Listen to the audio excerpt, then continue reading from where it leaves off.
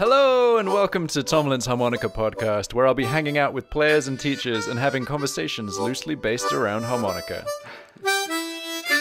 This week's podcast is part of a series where I'll be interviewing beginners instead of pros, so that you can hear what it's like starting out on the harmonica journey. Although this week's guest John has been playing for 30 years, he's recently realized he needs to go back to the beginning and strengthen his foundations. All right, well, welcome to the podcast, John. Thank you so much for agreeing to to take part in this. It's pleasure. Um, Thank you.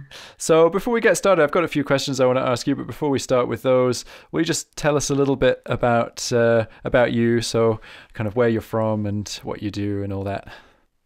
Yeah, I live in a place called Billingham near Middlesbrough in Teesside, in the northeast of England. Uh, and actually, I've lived here. All, I'm uh, 65. I've lived here all my life. I was born about three miles down the road. I lived in, in this house here since we were married 40 something years, 42 years ago. Uh, I even worked on the road seven miles away, so I haven't been very far in my working life.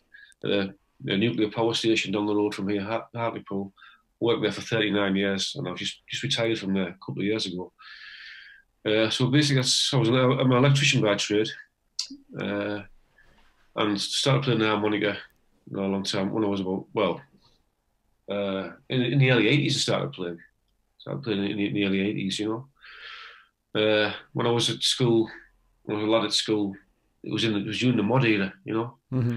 And uh, bands like the Yardbirds and uh, Paul Jones, you know, Manfred Mann, uh, Rolling Stones, and they, they, all had harmonica players, which I, I loved the sound of it, you know. And and uh, but it took me years to find out that it was the ten-hole diatonic that was the one yeah.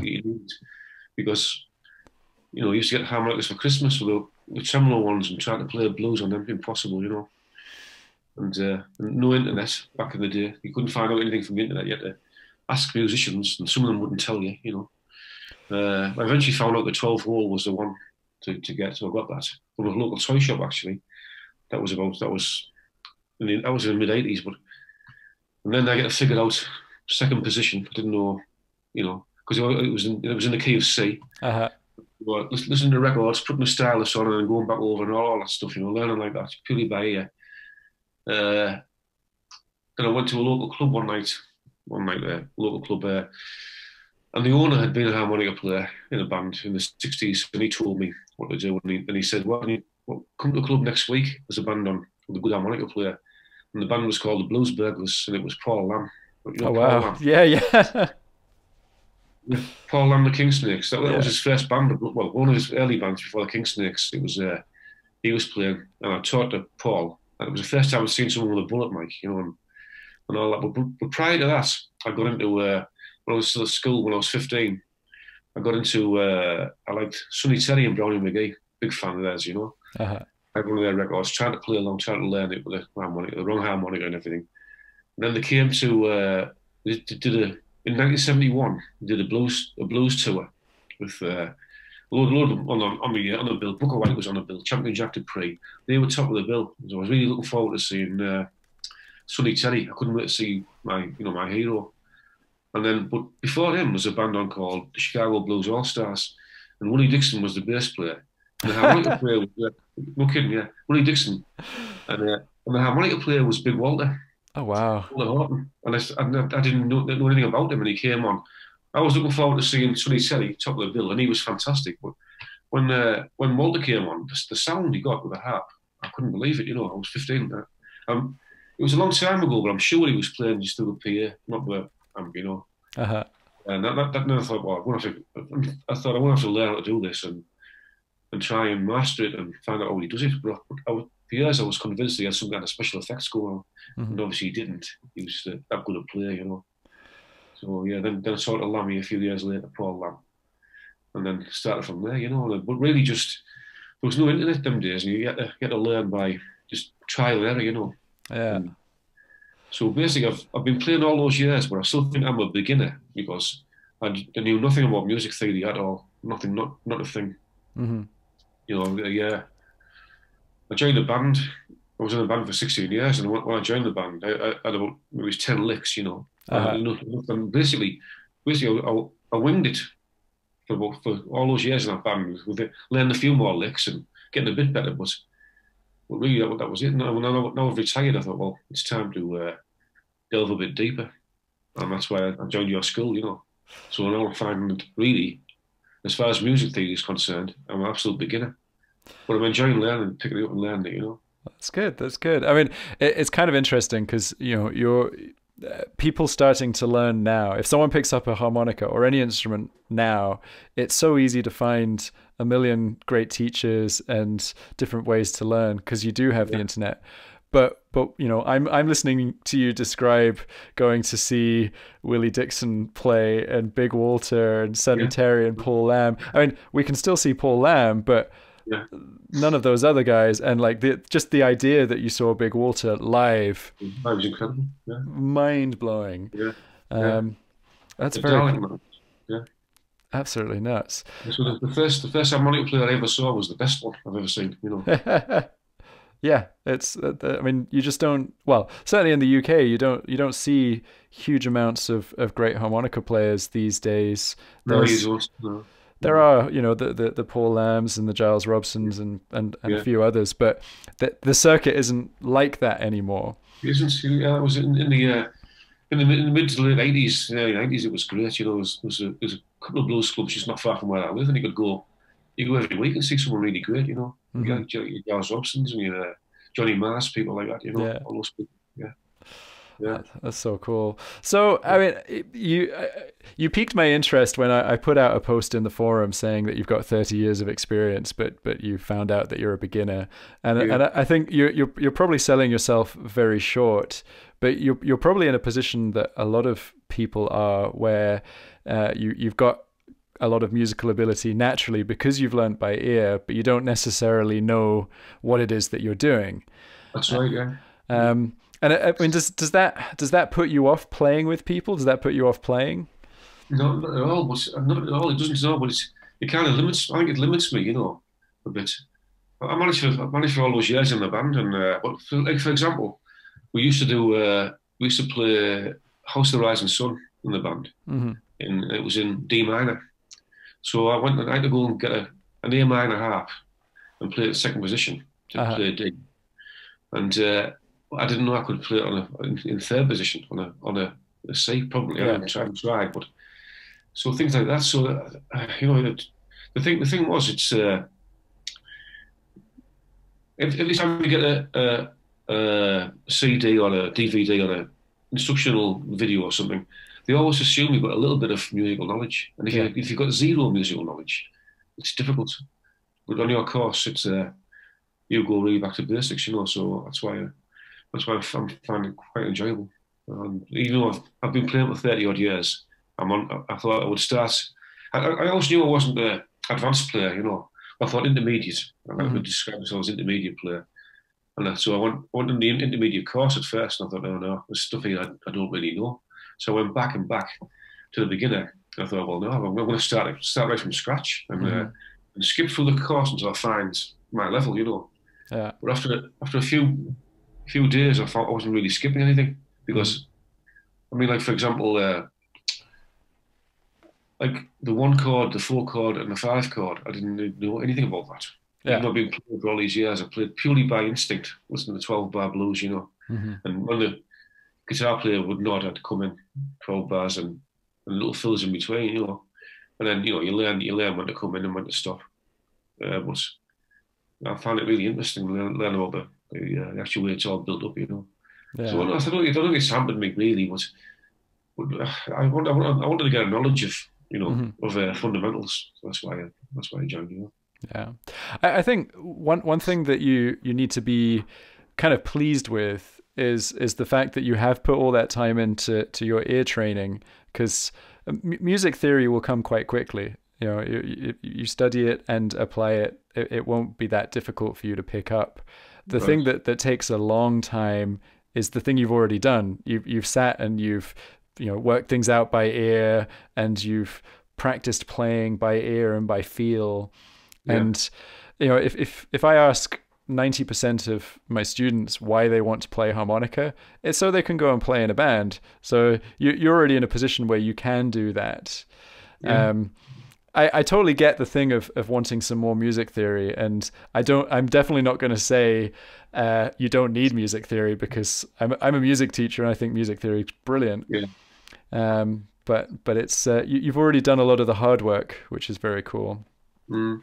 But not, not only that, it's not only the theory; it's the it's the it's the embedded bad habits you get from learning like I did, mm. and things like uh, not always playing clean notes, for example. You know, yeah. or start or starting on a double stop and and and then slurring into the right note. You know, you know what I mean? The kind of thing where you, you play a, you play a double, you might play a four, four or five, and you've got to go back down to the four. You know, uh, yeah. to correct yourself.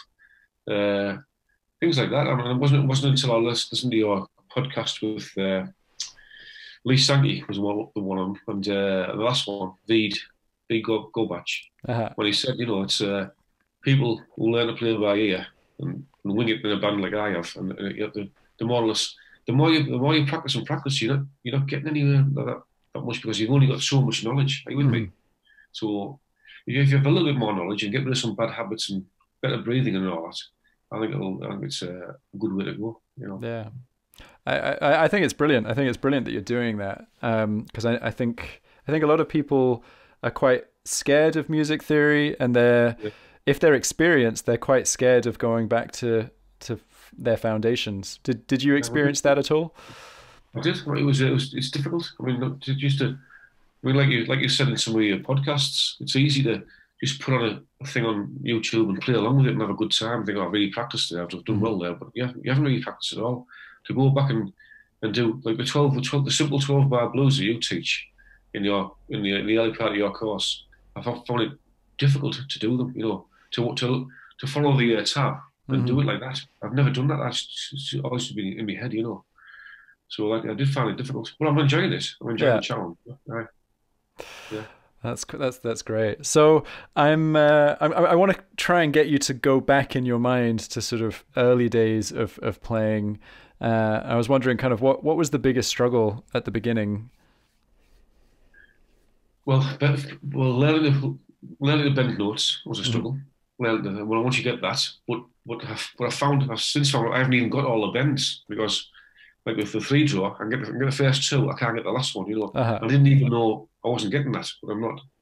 Uh, learn the bends, uh, playing single notes. I found that very difficult. You know, it's so easy to just slur everything and get that that chordy sound. You know, yeah. And uh, you've got to really, you've got to really stick in and do that, and it gets boring and all that. But yeah, that's what you have to do. You know, and uh, and also with back in the day with no internet and no I was I struggled to find I struggled to find the right key harp. You know, mm. I'll put a record on when it might be uh, on a Little Walter or someone, and play along with the C harp. Next thing, the same song, he changes harps and it goes wrong. You know, and you, you wonder what's going on there. And it was obviously he's, he's changed his harp or something. You know, uh, but yeah, bending notes and and the uh, and the playing the single notes are the most tricky things for me when I started.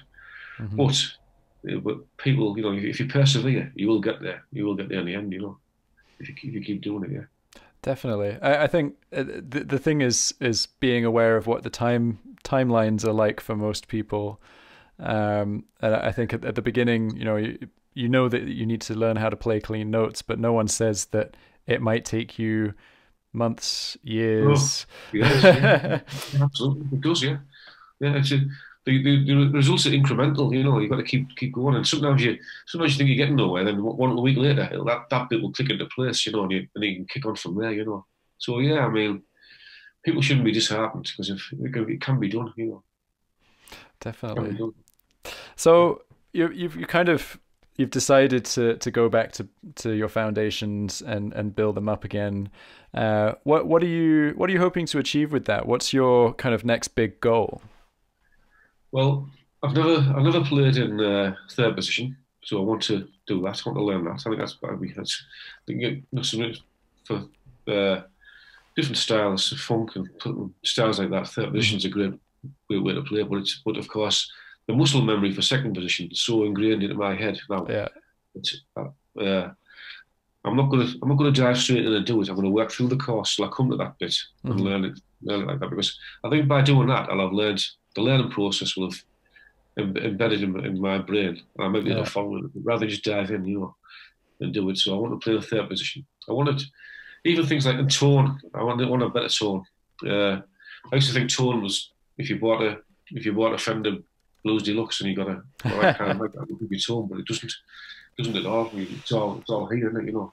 Yeah. It's all in your it's all in your mouth. I mean, you the way you, your embouchure and everything like that. The, the gear, it's secondary, you know. Mm.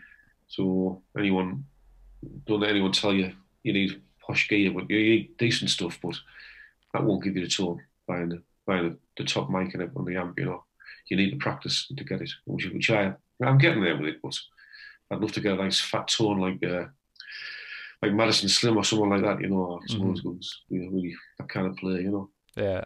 Yeah. No, I, I think it's it's really good. It's really good for people to hear you saying that because Yeah. you know I, I say it all the time to people when, when people say you know what amplifier should I buy and and and and what what microphone's going to make me sound amazing and you know it's basically if if you put uh you know a top player through the the cheapest nastiest amp and right. a crap microphone they're still going to sound killer Yeah.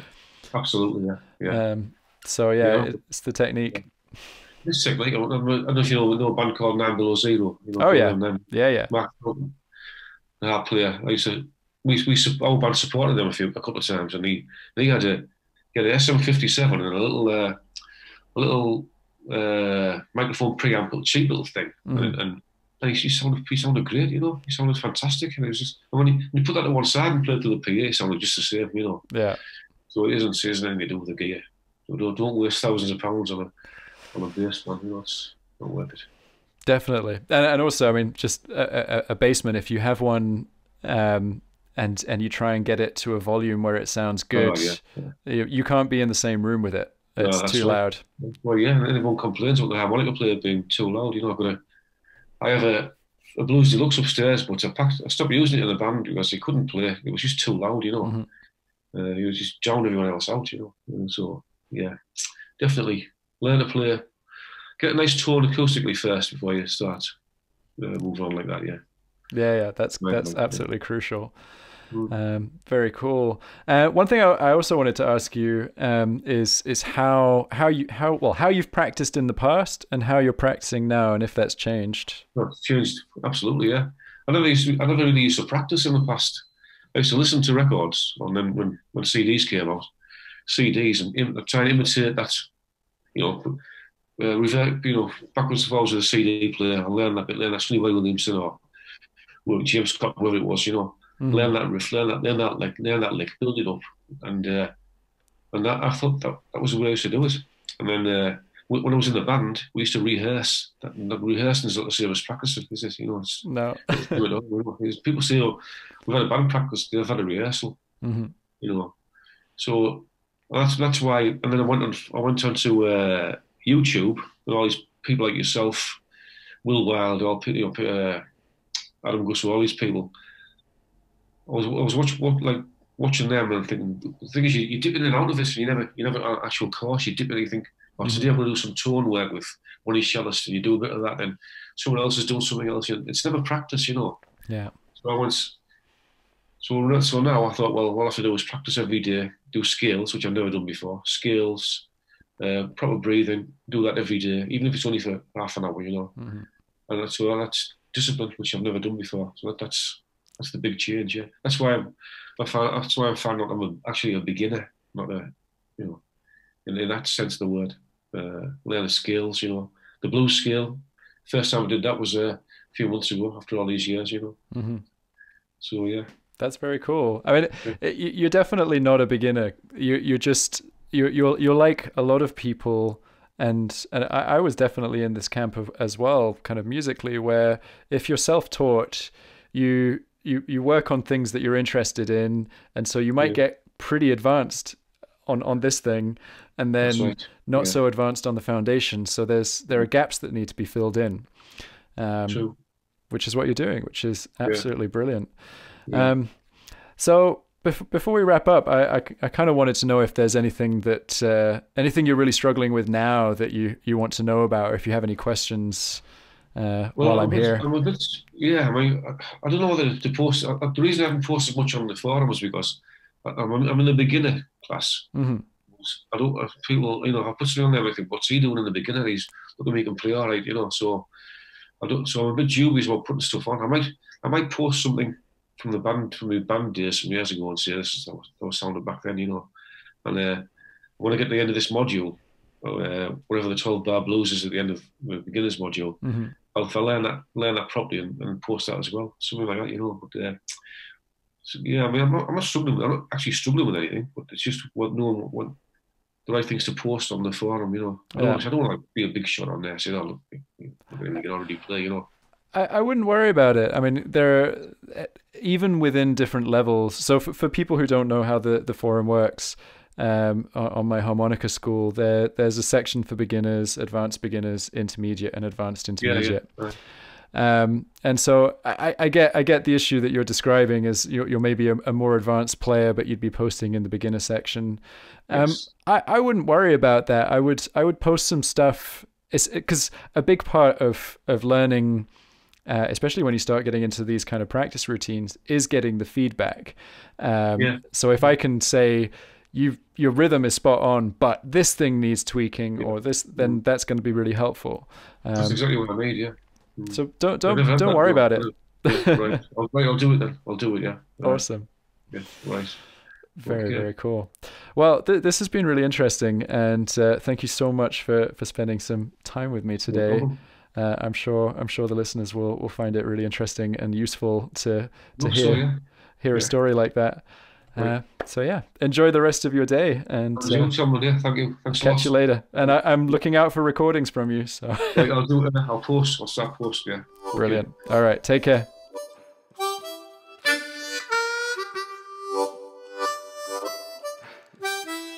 Thank you so much for listening to this episode of Tomlin's Harmonica Podcast. Don't forget to subscribe and leave a rating and review on your podcast player of choice. Join me next Monday for the next episode. Happy harping!